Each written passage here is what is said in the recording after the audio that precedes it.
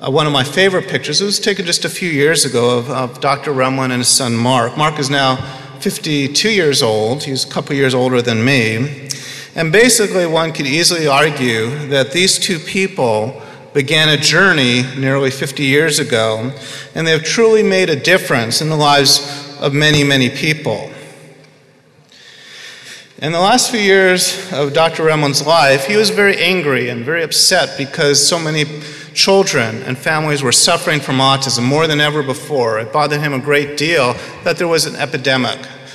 Um, it was much easier when it was only one in 2,000. And it really tore him apart. It, it bothered him greatly. And, um, and he was very mad, very upset. But at the same time, he was thrilled that children were and will continue to improve dramatically from many of the treatments that he helped promote and develop. And he also knew that many of them have and will continue to recover from autism. And so, one of our slogans at the Autism Research Institute is that autism is treatable and recovery is possible for many individuals.